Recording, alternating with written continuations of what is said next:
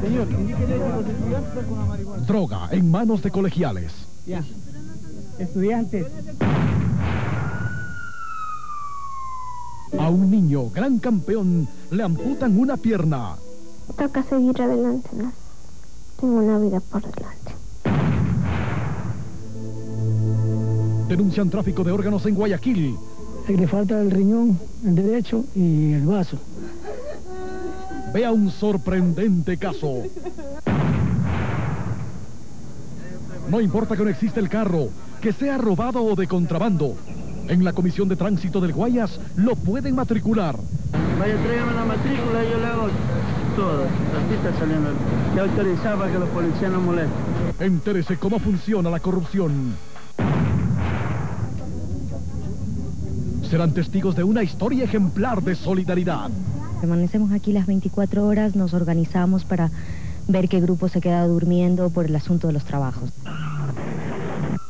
Los amigos de Pablo Morales tienen cercado a quien señalan como el culpable de su atropellamiento y muerte, cuando no se confía en la justicia. No se pierda la onda del sígueme, sígueme. Bomboncito. Sígueme, sígueme.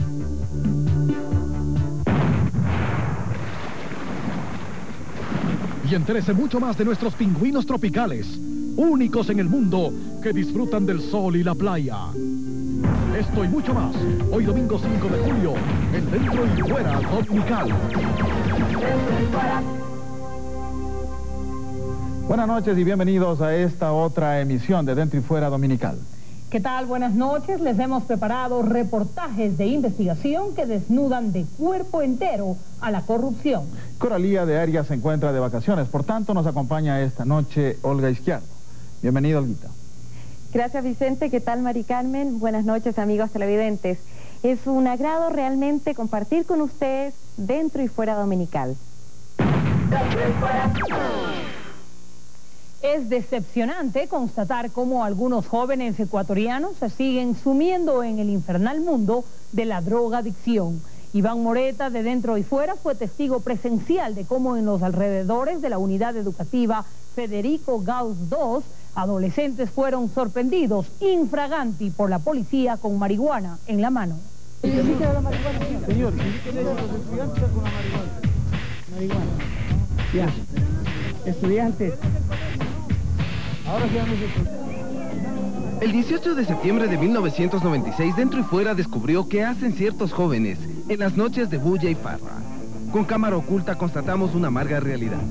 Nosotros le damos su bueno, su nota. No me vaya de aquí, aguántame Nosotros le damos su nota, fresco. Usted no conoce nombres, no conoce hueván. Oye, pero tienes coca. Mande. Coca tiene. O, o, o hierbita nomás. ¿Qué quieres? Lo que sea. No, no, te pregunto qué quieres. Han pasado dos años de estos hechos y resulta desalentador ver cómo las cosas, en vez de mejorar, han empeorado. La droga sigue ganando terreno y apoderándose de nuestra juventud. El día 19 de junio, la unidad educativa Federico Gauss celebraba las fiestas del Inti Raymi y acudimos para rescatar el interés de la juventud en las tradiciones del Ecuador. La fiesta se desenvolvía normalmente, hasta que ocurrió lo increíble. La Policía Nacional en las afueras del colegio había capturado a dos estudiantes de la unidad educativa en posesión de marihuana. La marihuana. Indíquele la marihuana. Señor, indíquele que los estudiantes con la marihuana. Marihuana. Ya. Estudiantes. Ahora sí andas del colegio. Ya no es de No, no, no es así, no es porque ustedes dejarlo para el colegio. No nos pueden es hacer, cuestión de que eh, ustedes deben saber problema. manejar la situación con adolescentes. ¿Con cuál adolescente?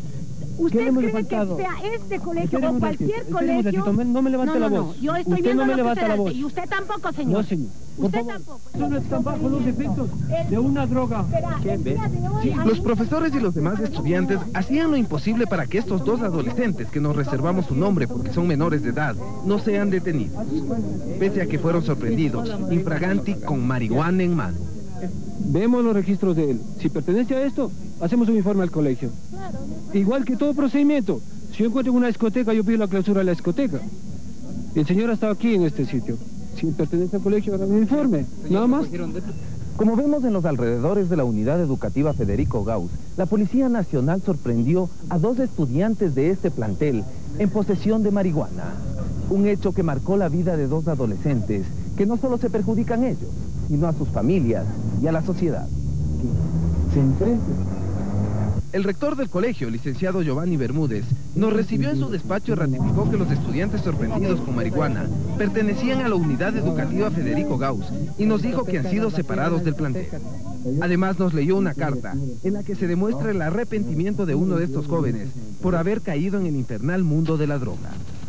Con mi acción he provocado angustia a mis padres, afecté a la imagen del colegio y también logré perjudicar mi normal desempeño escolar, pues de ahora en adelante no podré asistir a clases ni presentar exámenes junto con mis compañeros. La droga ilícita en el país ronda por los colegios y amenaza la vida de los jóvenes.